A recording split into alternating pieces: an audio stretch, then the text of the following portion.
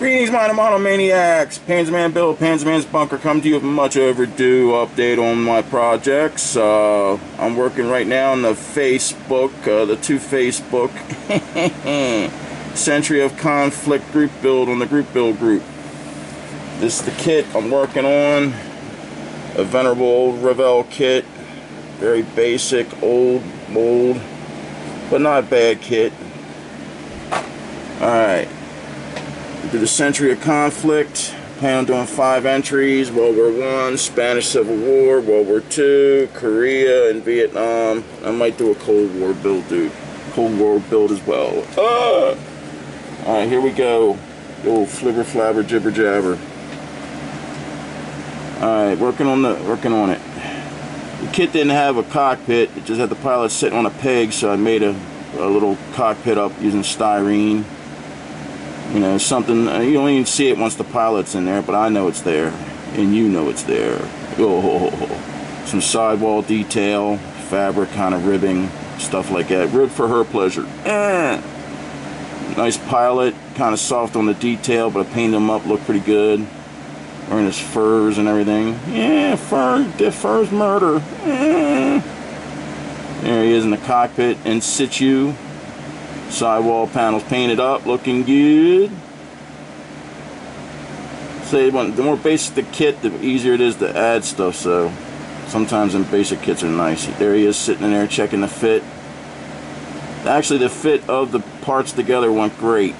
The, the fuselage halves went together great, the wings went on great, the landing gear went on no problem. Even when the struts, because biplanes, when you put them struts on to put the top wing on, I did drill out the uh, exhaust and detailed up the machine gun a little bit. When you put them struts on, that's always the, the tell on a kit, and they, they lined up perfectly. So it's a good little kit. I did add the little uh, little bit of rigging it did have for the ailerons and back here on the rudder and such. That goes through the stabilizer underneath. Underneath's real busy. Right there, it's busy. See, the underside's all kind of that's what it looks like on the real plane too. All these different cables crossing through. Kit comes with that stencil. I decided to hand paint my own lozenge pattern. Turned out pretty good. Uh, the color scheme, uh, yeah, it's the Jasta 18 Staffel Raben. It's the Ravens. I went with a different color scheme than the kit. That red and white looks pretty striking. Lozenge pattern. Ah, lozenges throat lozenges for her her pleasure. Uh. I did this. I had to paint up, a draw in and paint up the, uh, the iconography for this uh, particular pilot. Um, Kurt Monnington or something. Sounds like a Brit, but he's a German. A raven and a skull on the side. A little large, but you know, that's what happens when you hand paint something.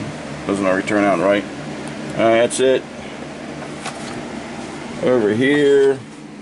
Here she is with some decals slapped on her. I still got a little bit left to do before I'm finished with her. Reposition here. Uh, uh, really good, Bill. You're really dazzling with your production skills. Uh. Like I said, there's the raven and the uh, skull on the side. They're about 50% too large, but I like it.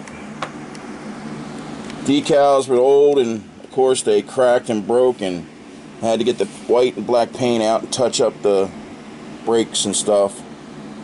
That's what happens when you get old decals. These decals are probably about 40, 45 years old. I only had to put the crosses on, really. Let's gloss coat it right now. I'll, I'll seal everything in and then uh, dull coat it and do a little bit of uh, weathering. But she's almost done, practically done.